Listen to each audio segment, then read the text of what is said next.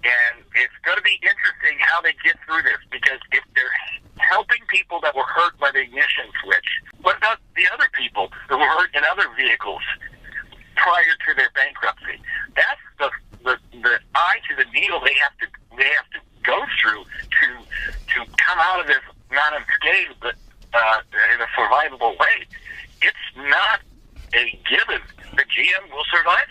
Yeah, this is uh, still going on, obviously, and uh, and again, which is also interesting to see what happened then. But right now, I mean, wh- what has caught my attention recently is like sales, at least for now, are, not affected. On the other, I mean, completely the opposites. People are like almost like the new people who coming to buy new cars. Almost not affected by this. What, what's your take on that? Why, why you think that happens? Why you think customers don't pay attention to some things and some others they do? Uh, they got busy lives. Um, I, I will say also that cars have become more basic transportation than they were 20 years ago. There's not as much passion about buying a car, but people still want a car, but there's not as much passion, so they don't pay attention to the issues.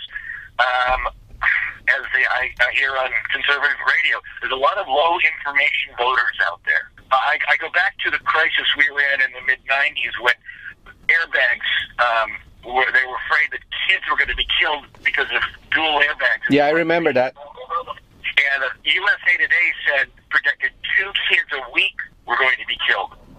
Well, we put out, and I'm very proud of this, it was a program that went into every private and public elementary school in the country. It was called The Back is Where It's At. And we used Bill Nye, the science guy, and we made this video trying to convince kids we got incredible coverage. It was used in